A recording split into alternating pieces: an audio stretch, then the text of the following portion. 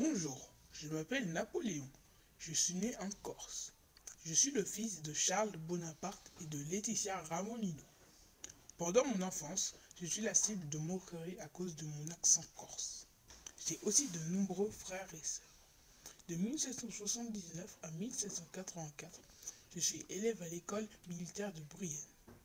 La légende napoléonienne raconte que lors d'une bataille de bout de neige, j'ai pris le commandement de quelques camarades afin de battre l'ennemi.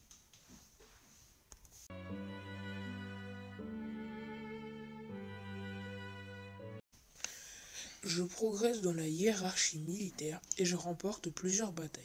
Le 2 décembre 1804, dans la cathédrale de Notre-Dame de Paris, je suis sacré empereur par le pape Pie. Je bats la Russie et l'Autriche à la bataille d'Austerlitz en décembre 1805. Je dois contrôler toutes les côtes maritimes de l'Europe, celles de la mer du Nord, celles de l'océan Atlantique et celles de la mer Méditerranée. Le 2 avril 1804, le Sénat me destitue. Je suis envoyé en exil sur l'île d'Elbe en Méditerranée.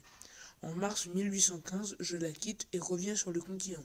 Je reprends le pouvoir. Après un début couronné de succès, je suis vaincu par une armée de mes opposants alliés. Pendant la bataille de Waterloo, en Belgique, le 18 juin 1815. Je suis alors banni sur l'île britannique de Sainte-Hélène. J'y meurs le 5 mai 1821 à l'âge de 51 ans.